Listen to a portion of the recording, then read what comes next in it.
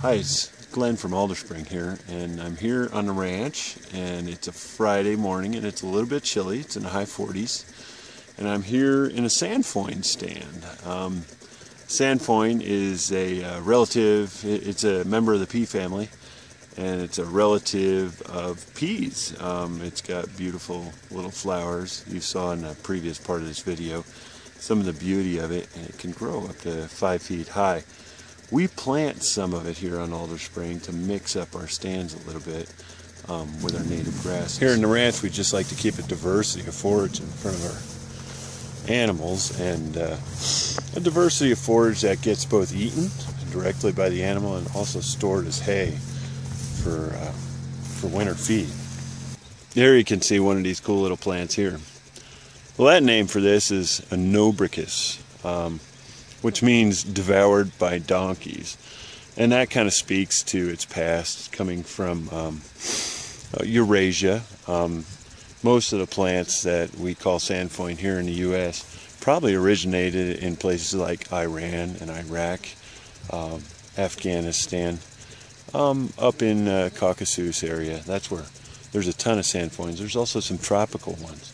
But this is the one we like to have, the one devoured by donkeys.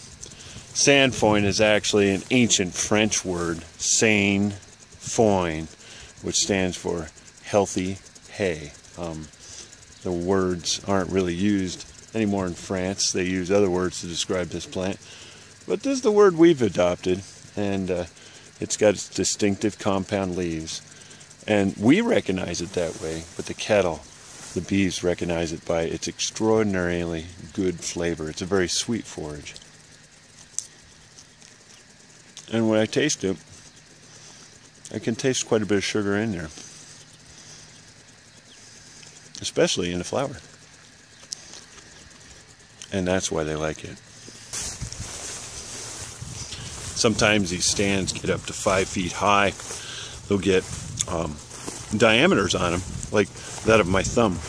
But the forage is still good raised from these plants, and uh, the animals, even in the wintertime, will devour that, that dried hay, even with those big thumb size diameter stems, all the way down to the ground. It's a pretty cool plant, but there's some cooler things about it that I really like. One is it doesn't allow animals to bloat.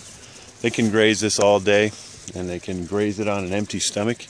And unlike a lot of other other legume forage like alfalfa, those can provide a lot of difficulties, and they have a chemical reaction when they hit an animal's gut. As a pure forage going in there, um, they can cause a heavy duty foam like foam rubber like layer across the top of the gut that locks in gas. And uh, just like you and I like to burp after a meal cattle do too. In fact they have to. And uh, what happens is they blow and they get a lot of pressure in their stomach and eventually pressurizes their diaphragm in reverse and they asphyxiate very dangerous thing. So we have to manage alfalfa stands very carefully here.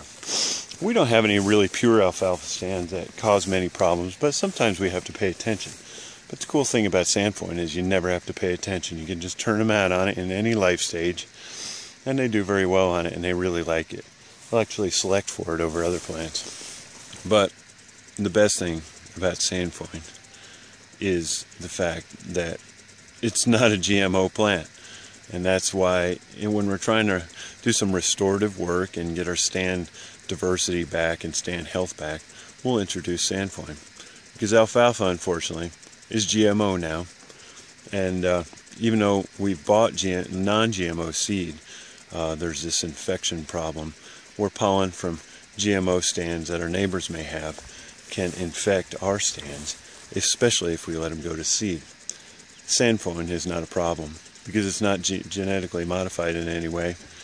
And uh, as a result, it's a win-win situation for us because we have a feed that the animals like, that they won't bloat on, and uh, that we like because it's easy to manage and stands last up to 35 years. Unlike alfalfa, gets replanted every about five years. So anyway, that's a little secret about sainfoin, and I uh, just appreciate your time listening. kind of catching up on what's happening on the ranch. And you have a great day and happy trails.